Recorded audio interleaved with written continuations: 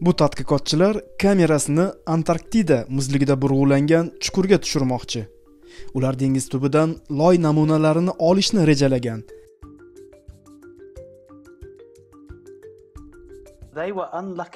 Barcha jihozlarni o'rnatib 900 metrlik qattiq muzni burg'ulab va jihozini 500 metr dengiz tubiga tushirib izlagan loy o'rniga toshga duch kelish uchun odam omadsiz bo'lishi kerak. Ammo video tasvirlardan tosh ochiq dengizdan olisdagi mayda jonzotlar uchun vatan ekanligi oydinlashdi. Mana o'sha mavjudot va parazitlar. Bu yer yemak tanlamaydigan jonzotlarni to'ydirish uchun yetarli ozuqasi yo'q joy bo'lishi kerak edi. Chunki eng yaqin quyosh nuri 260 chaqirim uzoqlikka tushadi ular yeyishi mumkin bo'lgan ozuqani ishlab chiqaruvchi plankton ya'ni o'simliklar yo'q shunday ekan ularning har qanday ozuqasi oqimlar bilan oqib kelgan. Bu ozuqa uchun juda ham uzun safar.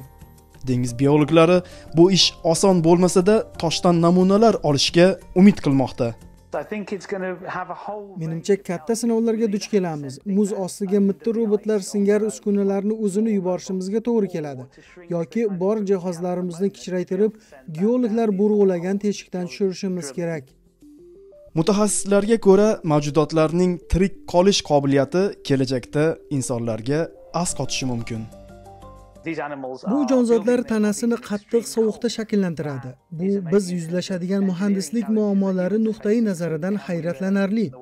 suyaklari shakllanishidan nima o'rganishi mumkin? balki turli kasalliklardan o'zini himoya qilishini o'rganib antibiotik yoki saratonga qarshi yangi doriga asos toparmiz.